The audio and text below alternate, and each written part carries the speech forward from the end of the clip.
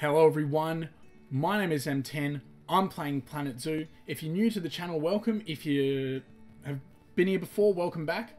Today we're going to be working on a gorilla enclosure to finish off the tropical trail. So to start off with, I just want to say, uh, as you can see I'm sort of working on two enclosures at the same time here. Basically what happened is I was originally supposed to... I originally had footage of me speed building the Okapi enclosure. Now, for whatever reason, that footage is not on my computer anymore. Maybe it wasn't recorded. Maybe I accidentally deleted it or something like that, trying to make space. I can't tell you what happened to be certain, but the footage isn't there of me making the enclosure, which is quite unfortunate because I really like the enclosure, and I think you would have too. But what I will do is, if I haven't uploaded it already before this, I'm going to do the regular cinematic, the regular tutorial of how to make the exhibit and we'll go from there.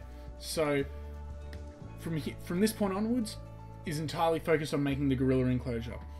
As you can see, I'm, I'm building a bit of a wall around the enclosure. I like to keep it, I decided to keep it nice and open so the guests can walk through it. It relies very heavily on null barriers and, and natural barriers such as the rock ledge that I'm working on at the moment.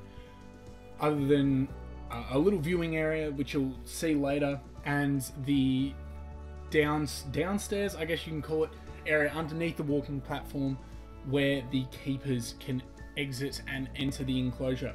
So I wanted to make it feel like the guests can, can are literally walking through the gorilla's habitat, but obviously you can't have that because in real life the gorillas would you know rip the guests to shreds. They're quite powerful and dangerous animals. The issue I have with making rock walls like this is they can look very repetitive if you don't place it individually. As you can, or you'll see later on, but I, I copy paste a lot of the rock wall around the enclosure just to try and get it done quicker, and it works fine. But you also have to kind of jumble some bits about so that it doesn't look like I'm just copy pasting, which is what I am doing. Uh, I also like the idea with this enclosure that it's sort of on a mountain, and the and the guests can look down on the gorillas, but they can also be at the same height as the gorillas. So you can see there's a bit of land height variation, which I think works very well. I, I, I think it's fantastic because usually when there's a mountain enclosure as such, there's usually like, or, or, or in, in actual zoos, when they have a, a mountain that's sort of in the middle of the enclosure, they put a, put a moat around so that the animals can't escape. With this, there's no moat. It's literally the animals can walk around almost all of the enclosure. There's quite a lot of navigable area. I think like gorillas require 800 meters. This is up to 7,000 meters squared of navigable area. Oh, a bit of a bit of a tongue twister to say that one.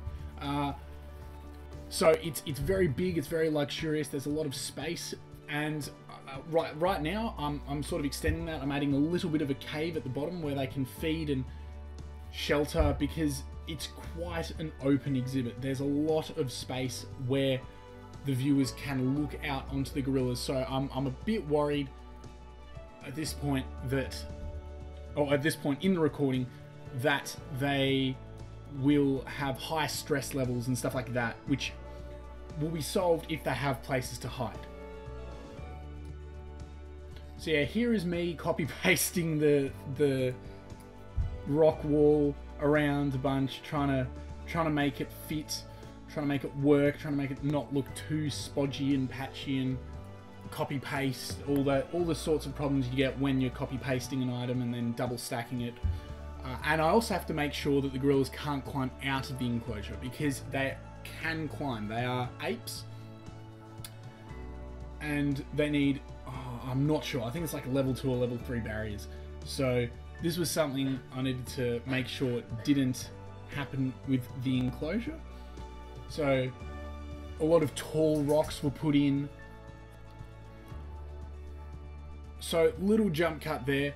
Basically, it was just me fiddling around with the rocks, uh, making sure that they didn't look too copy pasted by shuffling them around individually for a good like a minute and a half with the sped up time lapse and I thought, you know, I'll cut that. Let's move forward. Let's move on So I had to worry about the gorillas not escaping. Clearly, you have to worry about that with all animals in this game. But here I'm blocking off one of the possible exit paths with some with some oh, what, what's like construction items with some walls and some like staff room walls, that sort of thing. Uh, I also created a little glass barrier so that they couldn't jump out from that point there. So now I'm focusing on actually making the barrier. As I mentioned earlier, a lot of the exhibit is based on natural barriers, so I use null barriers for it. But I wanted another viewing area, so I used glass. This is originally uh, sorry. This is this is later changed to one-sided glass. It gives gives the gorillas a little bit of uh, privacy because, like I said, the enclosure is quite open in regards to what the guests can see. So just giving them just giving them little areas that they can sort of hide away that feel more natural, I think will lead to better welfare and less worrying about stress and all that sort of stuff. Uh, and then of course I have to blend in the barrier. I gotta use some some rocks to hide it around. I really prefer the look of barriers when they've been blended in with rocks and other natural other natural elements for the habitat. I, I just think that a lot of the time the exposed ground by itself doesn't really work or doesn't really have a good aesthetic in comparison to adding rocks and natural elements. That being said, uh, I also decided to kind of block off the barrier here and replace it with a, a, a building. As you can see, I'm using some wood because uh, it's a it's a natural it's a natural material, and I think it, it works well because you know it's a rainforest enclosure to have some wood some wooden elements. Unfortunately, it doesn't seem like I captured it, but I also extended the top of this staff building to become a viewing area for the guests, uh, just with a roof over the top, just to give the guests some shelter and some shade, because it's quite an open viewing area. Uh, in you know, if the game had, or the game does have rain, and if, if that was a factor, you know, I just wanted to make it feel more realistic by adding some cover. I also blocked off the staff room uh, as you can see here with some rocks, uh, just to make it, because the guests don't really like being able to see the staff facilities. So by this point, uh, I've just added the gorillas into the enclosure, and surprisingly, the terrain was pretty acceptable. Uh, probably deal with a couple of changes, but as you can see, there's not enough climbing habitat at all. So I decided I need to change that.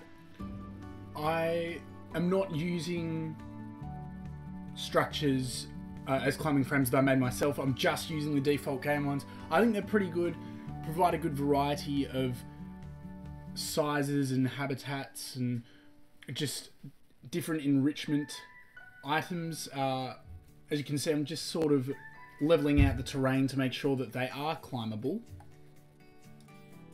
Um, as you can see here, or if, if like very briefly, on the left of the enclosure, there is a little shelter that I have made for the gorillas, and unfortunately, it didn't look like I captured that either. I know it's very frustrating that uh, I just haven't been able to record these things. I'm going to try and be better at it in the future, of, of like avoiding accidentally not recording certain items.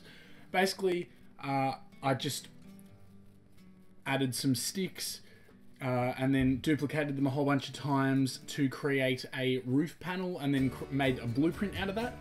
Duplicated that a couple more times and created a full shelter.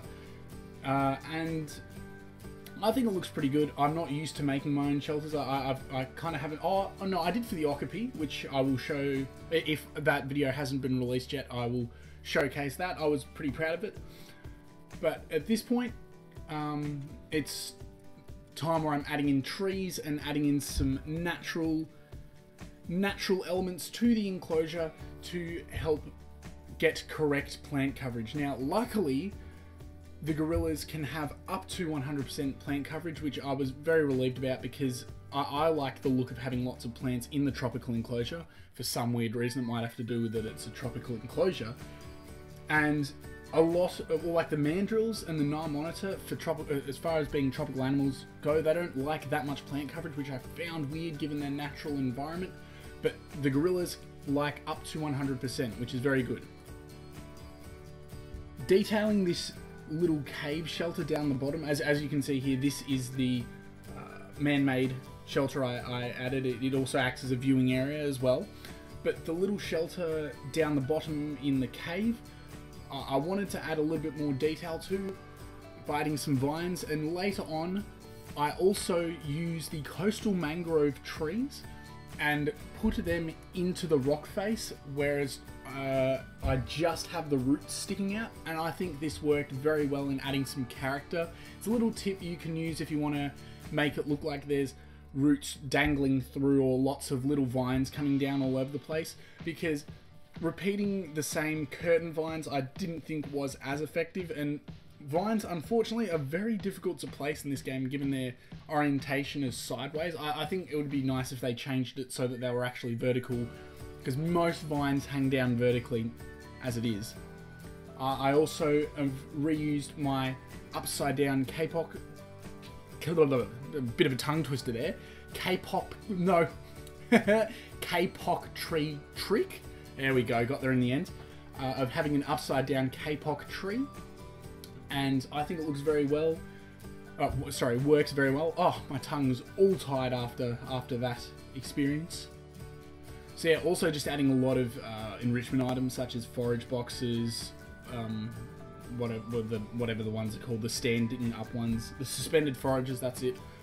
Uh, I, uh, because it's a large enclosure, you just sort of have to add lots and lots of them around the enclosure, and then it's it's it's a bit of it's a bit of a frustration because the the keeper access is only on one side of the enclosure, but if you have a super large enclosure, you have to worry about placing enrichment items all the way around, otherwise the animals uh, don't like it very much. But then when the keeper comes in, it only fills up a few, and then you have to worry about the animals starving, so there's a, there's a bit of a toss-up between having a large enclosure, because it looks good and the animals have plenty of space, which even though they don't necessarily require, it just looks better, and I think I think the guests like it. Oh, I don't know if the guests like it more. It's a, it's a bit of a double-edged sword, and the game doesn't necessarily appreciate or I guess sort of push for larger enclosures. Um, because yeah, like I said, the keeper has to access certain areas, and then the guests can't see through all the way to the back unless you have lots of different viewing areas. By the way, it seems to be a little bit glitchy with the guests, saying that they don't have a good view of the animals, even though there are some like even when the the viewing area is fantastic, it's they have clear view of the animals and like it's, it's very immersive and everything like that. The guests still sometimes seem to give bad feedback. I, I'm not really sure what's going on with that. Apparently, I heard that they said they were going to fix that to make it so the requirements were a little less ridiculous. Because I'm not entirely sure what makes a viewing area good for the guest. Uh, I guess that's something they're going to work out. One of the little things they're going to fix or, or just tweak later on. So if you have made it this far into the build, thank you very much for sticking around. And I, I want to hear your thoughts. Do you like this style of constant commentary over the speed builds, or do you prefer having more music based and no dialogue at all because my my theory or, or, how I like to listen to commentaries is it's a bit of a mix. Sometimes I like listening to it. Sometimes I prefer to just listen to music and, and watch. Um, I also I also like that YouTube has the built-in speed feature, so you can speed up or slow down the video if you want. But obviously, adding commentary it, it does take a bit more effort, but I'm just also conscious of you know, using the same songs in every speed build video might get a little bit boring, but I, I guess you could play your own music off, off a different device or something like that uh, if you have access to that and you were watching the video and just want to see that. Another thing I am working on for this enclosure is the outside. As you can see right now, uh, in on the bridge between the gorilla and the Okapi enclosure, there's just a lot of flat, open, dry grassland, and I didn't really like the look of that considering the theme of this area being tropical. So I decided to add a whole bunch of trees and sort of just green out the area a little bit more because the gorillas, like I said earlier, uh, can have 100% plant coverage, so it's okay when there's lots of trees around the enclosure. Unfortunately for some animals, when you have trees outside the exhibit but the shadow is cast in or it covers the exhibit, it still counts as coverage. So it's a it's a bit it's a bit iffy with some animals. So you, you can't add lots of foliage around the outside unless it's like small, like these birds' nest ferns and stuff like that. Uh, I have found that if you place too many bird's nest ferns because they're quite small, it can look very similar. So I reckon they need to add a couple more varieties of, of those sorts of plants.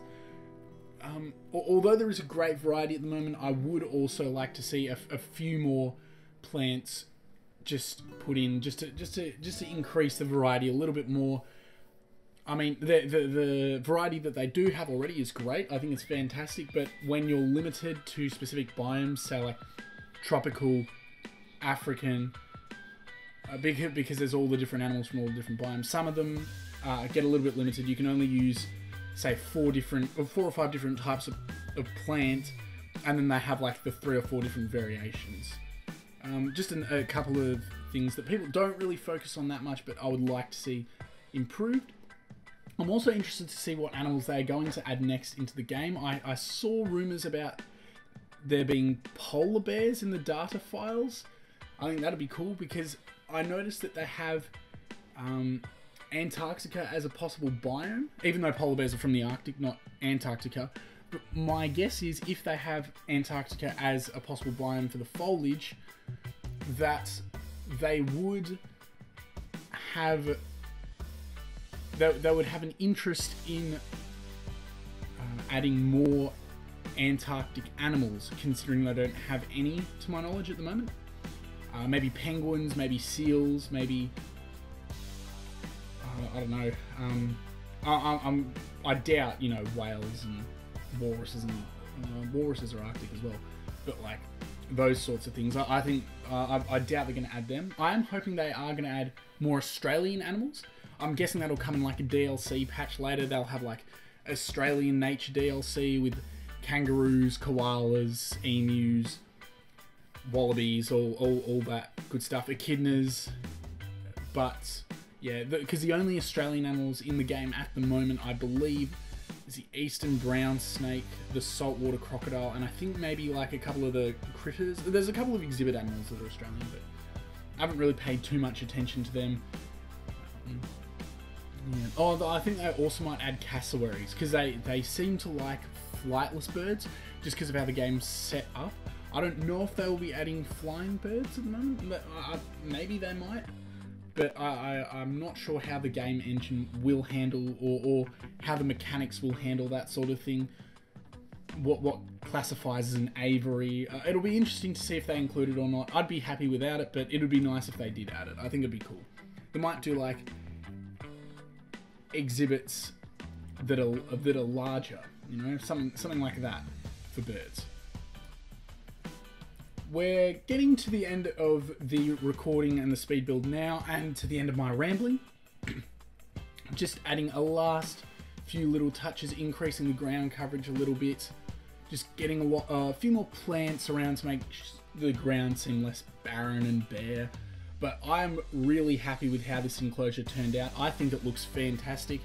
Um, I'm, I'm, quite proud, as you can, as you can probably tell. Uh, I did have a couple of little issues of the gorillas escaping in air quotations just because they were underneath where the barrier finishes. Like they were still in the exhibit, they were just mucking around near the cave entrance thing there, and it was a little bit of an issue to figure out, but I managed to get it sorted. So I hope that isn't an issue anymore. I think this enclosure is quite detailed in comparison to some of my other enclosures, and I, I think the guests will be happy. I, I, know the animals will be happy with it. Uh, and I will do an extended cinematic for this. I think it'd be, I think it'd be good. Unfortunately, I'm having problems with actually getting the guests over to it because it's quite far away and you have to go through a whole bunch of habitats to get here. So we'll see how that works out. Anyway, thank you very much for watching this episode, everyone. If you did enjoy, please make sure to leave a like, subscribe, comment. If we can get 50 likes on this video, I think that'd be really awesome. I'm thinking of setting up a Discord or something like that so we can uh, discuss Planet Zoo and and and do that sort of thing. I'm not sure if I'll end up doing that at all. Anyway, but if you do enjoy, please subscribe for more Planet Zoo content, and I am enjoying it so far, so I'm planning on pumping out more. See ya.